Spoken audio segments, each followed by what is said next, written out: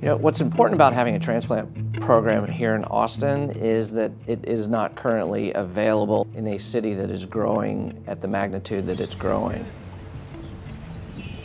Uh, I'm James Crowley, and uh, I'm John Crowley. We are brothers. yeah, Well, we grew up in Northwest Hills in Austin. I guess it was the 80s or so. And, uh, you know, we just, Austin was so much of a different place. We kind of ran around the neighborhood and, you know, really active swim team. We played soccer, I played football. Um, but just kind of a normal upbringing during that time period. I remember exactly when it happened. Yeah, we were at the like bus stop, and grade. John would not feel well, and we'd get to the bus stop, and five minutes later, he'd have to go back to the house, and you know, we didn't know what it was for a few years. They didn't know what it was, right? That was that was probably the onset of the ulcerative colitis, which was the first kind of major health thing, and it was rare that ha- you know being diagnosed with that at such a young age.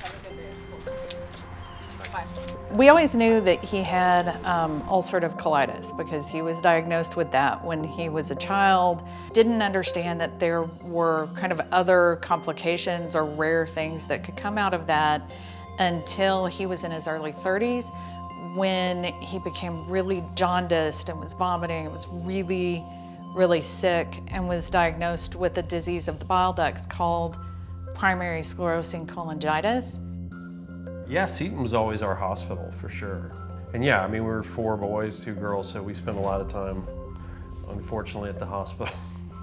but yeah, it was always Seton. I don't remember going anywhere else. You know, I'd been diagnosed at Seton. I went there on an emergency, um, checked into Seton, uh, met Dr. Sperling. He became, you know, my GI doctor, and Dr. Sperling had advised us to, you know, maybe it's time to start reaching out to some facilities because your liver's going to fail and you're going to need a transplant. In any community right now, there are patients waiting on lists for solid organ transplant, and we can use um, kidney and liver transplants as an example. In this community, if you're a patient with uh, renal failure or kidney failure uh, and you're on hemodialysis, um, you will generally be placed on a waiting list to receive a kidney transplant. And if your name or number comes up, you have to travel outside of Austin to get that care. That's very disruptive not only for our patients but also for their families. And we want to be able to provide that care for them right here at home so they can have the safety and security of knowing they can receive outstanding care without having to leave Austin. You know, knowing that you can't get it at home, you're gonna have to find it elsewhere. So, you know, we went to a couple different venues to see what would be the easiest for us as a family to deal with, and you know, closest place was Dallas. So, Jimmy was the perfect candidate. You know, he, we were relatively the same size, so it just it kind of fell onto him rather quickly. Did I offer it? uh, I, you know, it kind of dirt it it. kind of came up that this was going to happen. Um, a lot of it was the blood test, if we had the same blood type, which we do.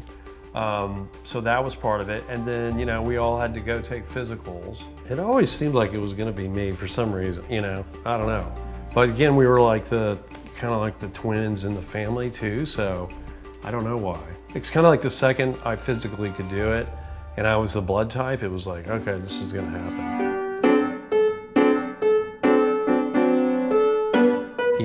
John's daughter, you know, just being so young and dad's sick and then her uncle. That was kind of tough. I remember a few times in the hospital before it happened, like taking a walk with her or whatever. And uh, you could tell, you know, I mean, she was dealing with it, but it was probably pretty scary. If, if surgery were to happen at Seton instead of having to go out of town for this procedure, I, the impact on the family, the impact on you know the stress of having to go out of town to to meet all the requirements of the protocol that the, the hospital does put on you after you receive a new liver, um, the the checkups, the blood work, and that kind of wear and tear on you as a person and trying to fit that into your schedule. I think it would just make it tremendously easier to to do. So having to leave a community to get transplantation, the surgery itself, as well as the follow-up care, is very difficult for a family because it's not just a one-stop surgery and then you're done and back home. You are um, having follow-up treatment routinely, monthly, annually, for, for your life. So we are very excited because we will very soon have a transplantation program that will, our goal is to be world recognized. I kind of, I kind of made a diary of my, my stay out of town. I took some doodles while I was going through my, my rehab. Jimmy and I would meet up in the hallway, uh, walking, which is very important after having massive abdominal surgery. I pooped, so I get to go home. Uh, Jeannie bought us both sweatsuits. Having matching the sweatsuits, so availability of providing organ transplants in a community this size is long overdue. You got everything? Got your gym stuff? Ready? A community this size, which is one of the largest and fastest growing cities in the United States, should have all of the services that its citizens need without having to leave the area to feel safe and secure in the care that they're receiving. We are starting with a kidney transplant program here at Dell Seton Medical Center. We then hope very quickly to transition to be able to provide liver transplants.